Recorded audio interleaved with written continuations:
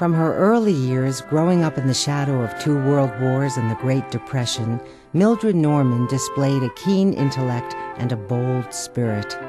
A progressive young woman for her time, she not only pursued the American dream of marriage and family, but also career.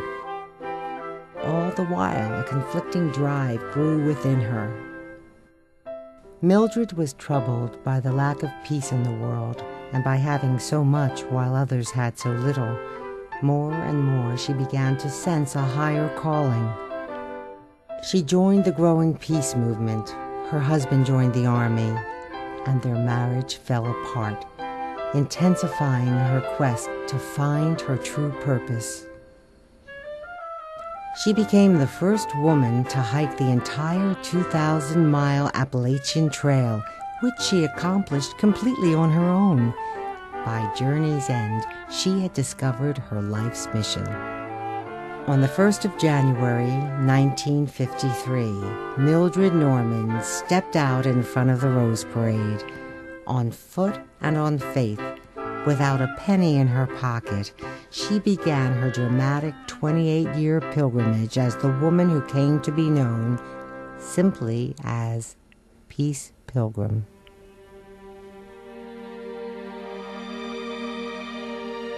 She, to me, is the epitome of a focused life.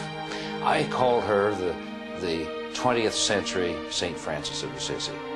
And she's a modern day heroine. She didn't live in the past. Uh, she's a, a woman who lived the path completely.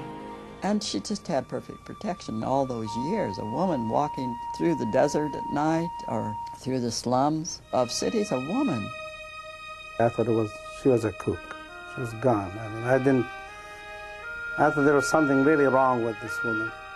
I would have been a disciple, but she made it very clear that she did not want any followers.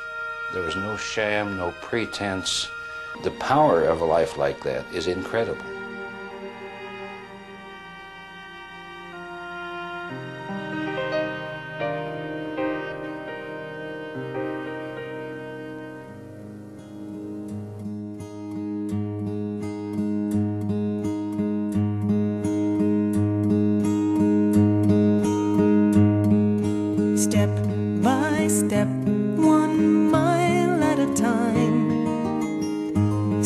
to Atlanta, New York to Anaheim, state by state and town by town. She'd walk across America till they lay those weapons down. No one knew just what her age was, but her hair was silver gray. If you asked her what her name was, she would say. Townspeople gathered round her as she talked about her mission in churches, schools, on street corners, wherever folks would listen.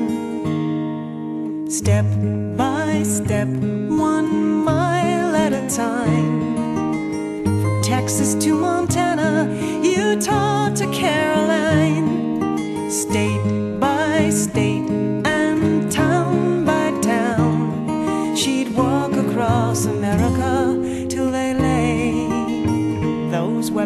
down. A bed of forest leaves, a canopy of stars. So simple were her needs, though she journeyed far. She carried no possessions but a toothbrush and a comb, with the love of God surrounding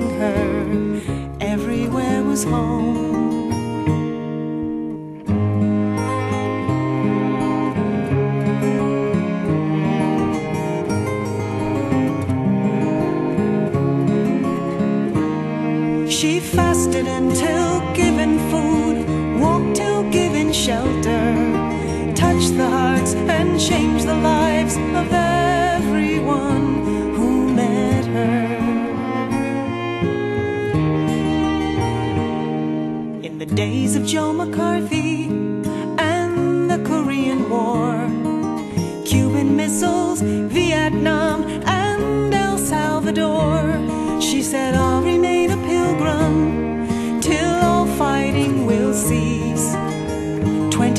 thousand miles I shall walk for peace. Step by step, one mile at a time, across the Mississippi and the Mason Dixon line, state by state and town by town. She'd walk across America till they lay those weapons down.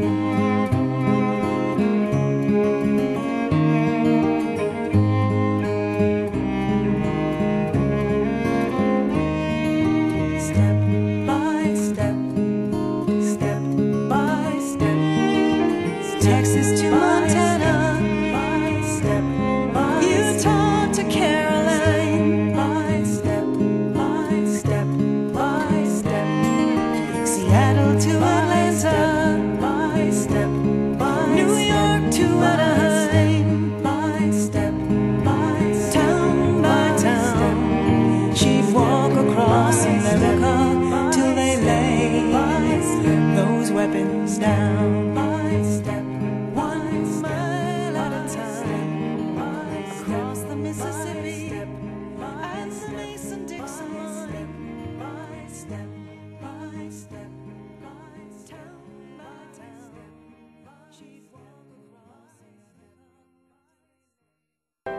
Things have changed a good deal since 1953, but I will say one thing has not changed, and that is my peace message. It still remains this is the way of peace. Overcome evil with good, and falsehood with truth, and hatred with love.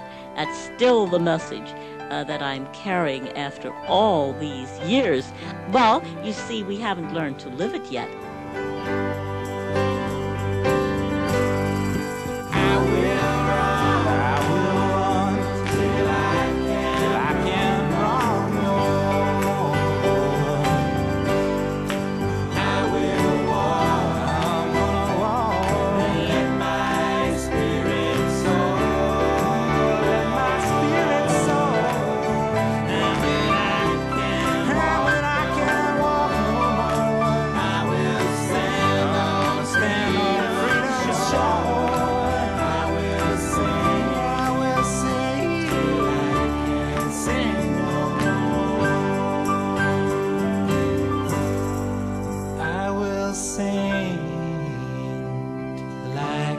sim